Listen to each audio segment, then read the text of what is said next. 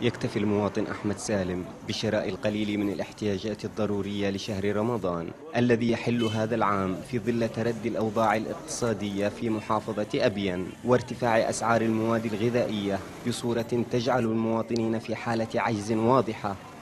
صراحة رمضان يستقبلون الناس يعني بهم وقلق ومعاناة يعني نتيجة ارتفاع قلل الأسعار المواد الغذائية.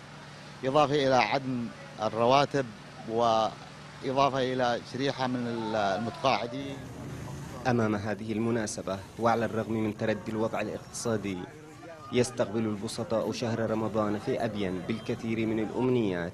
محاولين تجاوز ما يمرون به من حالة صعبة. تبدو واضحة في ملامحهم وإن حاولوا إخفاءها.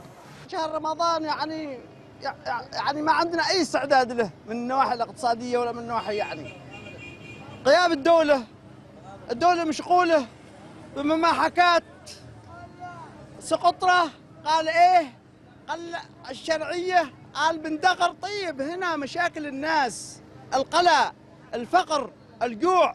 يعني مش قادرة تعمل حكومة الشرعية حاجة للمواطن. يرى الكثير من المواطنين هنا أن تردي الحالة المعيشية ناتج عن الحرب التي تعيشها البلاد بسبب الانقلاب وهو ما ضاعف من سوء الأوضاع عموما وليس محافظة أبين فقط. حيث تبقى هذه الأوضاع سببا في الحيلولة بين الناس وفرحتهم بشهر رمضان. راتب الموظف أو دخله اليومي ما بيقت ما يغطي يقضى حاجته اليومية يعني في الشهر نفسه. الآن في الأسواق أنا بتكلم بشكل عام عندنا هنا الأسواق المحلات وهذا يعني الأضعاف في الأسعار بعضها لأنه لا توجد رقابة لا توجد رقابة على الأسعار.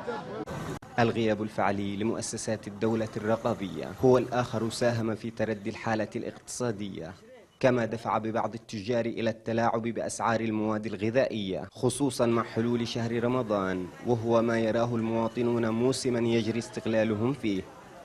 لطفي إبراهيم قناة بلقيس أبين